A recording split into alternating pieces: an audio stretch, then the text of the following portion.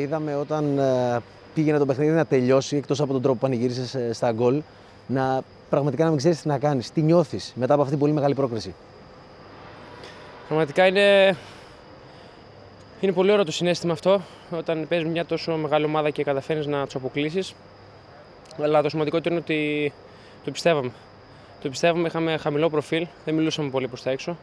Ξέρουμε εμείς μέσα μας ότι αν δώσουμε παραπάνω από το 100%, γιατί σε τέτοια μάτια με τέτοιε ομάδες πρέπει να δίνεις παραπάνω από 100%, μπορείς να κάνεις τη διαφορά και να, να κερδίσεις. Αυτό κάναμε και κερδίσαμε σήμερα. Μπορώ να επιβεβαιώσω ότι το πιστεύατε γιατί και πριν ξεκινήσει το παιχνίδι, μας το είπες, όσους έχουμε τύχει να βρισκόμαστε στον αγωνιστικό χώρο. Ε, μετά από μια χρονιά στην οποία ο Πάουκ αμφισβητήθηκε με αλλαγή προπονητή, αλλαγή σχηματισμού, με δύσκολη χρονιά γιατί δεν κατάφερε να πάρει το πρωτάθλημα και δεν είχε τις επιτυχίες της προ-προηγούμενης χρονιάς. Τώρα νομίζω ότι ξεκινάνε διαφορετικά τα πράγματα. Είστε λίγο δικαιωμένοι για τη δουλειά σας; Εντάξει, το ποδόσφαιρο είναι έτσι, υπάρχουν σκαμπανεβάσματα. Σίγουρα η περσινή χρονιά δεν ήταν όπως ε, φανταστήκαμε. Ε, Επίσης δεν είναι και εύκολο να, να διαχειριστείς μια τόσο μεγάλη επιτυχία όπως η προπέρσινη και να συνεχίσεις το ίδιο. Αυτό είναι το δύσκολο στο ποδόσφαιρο, να συνεχίσει να είσαι ψηλά.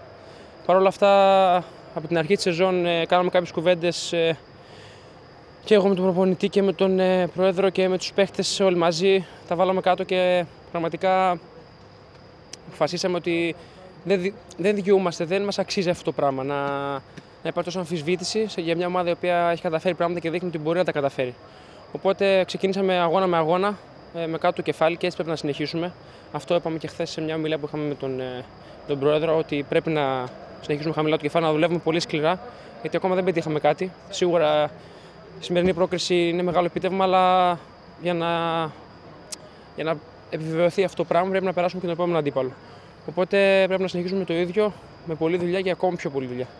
Επειδή την προηγούμενη φορά κόντρα στην Πενφύκα έπαιζες και είχατε φτάσει στην πηγή, αλλά νερό δεν ήπιατε. Τώρα, μήπως νομίζεις ότι ήρθε η ώρα κοντά στην Κρασνοντάρα. Ε, κοίταξε, ακόμα πάλι δεν έχουμε πια ακόμα νερό. Έχουμε ακόμα δύο τελικούς μπροστά μας όσον αφορά αυτή τη διοργάνωση. Γιατί την Παρσιβή έχουμε ένα άλλο μάτς.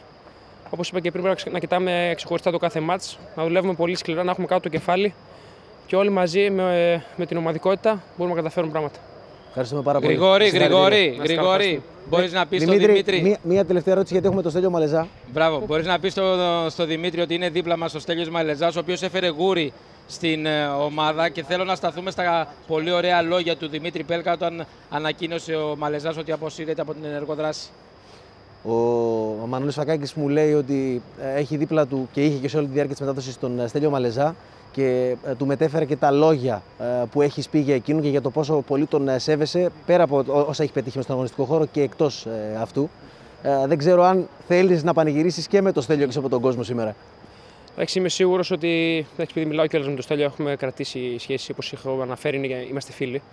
Και είναι πολύ είναι τιμή μου αυτό να, είμαι, να έχω καταφέρει να κάνω φίλους τέτοιου ανθρώπου, τέτοιε προσωπικότητε, γιατί ο Στέλιος από την καριέρα που έχει κάνει είναι και μια πολύ μεγάλη προσωπικότητα και έχει βοηθήσει πολύ τα τελευταία χρόνια που ήταν στον ΠΑΟΚ και εμένα και όλους ε, όσους βρισκόνται σε αυτήν την ομάδα.